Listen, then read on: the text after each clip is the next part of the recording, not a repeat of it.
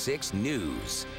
Our big story here on Fox 6 News at 9, a state fair flashback. Remember last year, opening day, the Sky Glider at the state fair got stuck dozens of people were stranded. Well, today, more trouble with the fair favorite. Last year, the engine pooped out. This time, it was a wobbly wheel. Our Henry Rosoff live at Fairgrounds tonight. Henry?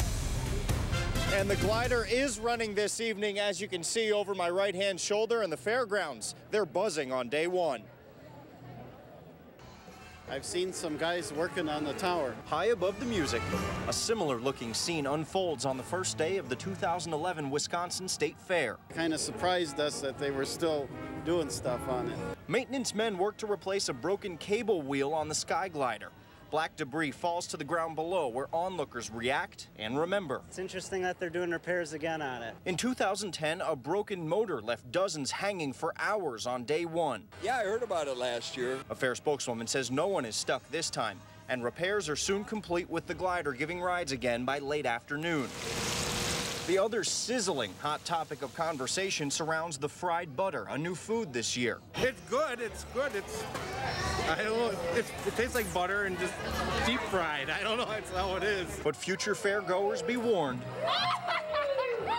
Proceed with caution. The first big buttery bite can really bite back.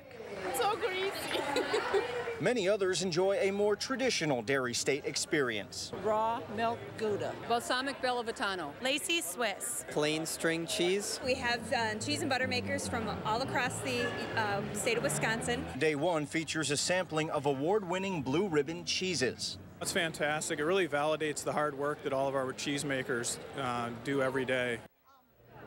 Keeping cool kept the uh, cooling stations a little bit busier early in their day, but as the humidity uh, began lowering and the temperature dropped as well, that became less of a story. And it's actually very pleasant out here this evening on this first day at State Fair. Live from the fairgrounds, Henry Rosoff, Fox 6 News. Thank you for the wrap up, Henry.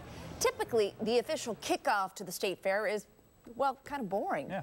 Not so today. Yeah, at this morning's ceremony, there was shouting and chanting. The target, Governor Scott Walker. Our Myra Sanchick tells you why. Thousands came to the fair on opening day. Hundreds were on hand for opening day festivities. But when Governor Scott Walker walked on stage, many shouted at the governor. Few had signs of support and applause. But when Governor Walker gave his opening day speech at the fair, not everyone was listening. This is the one place all across Wisconsin where people can actually come together, or at least most people can. And that's what we're going to do this week.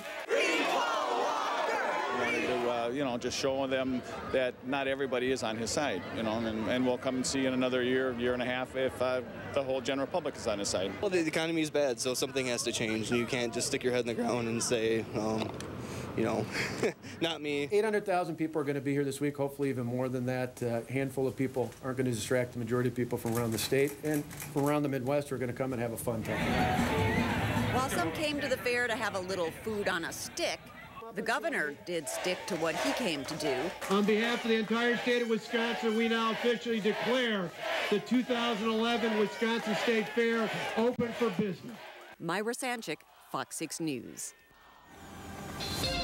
And the weather, as Henry Rosoff was saying, very comfortable this evening.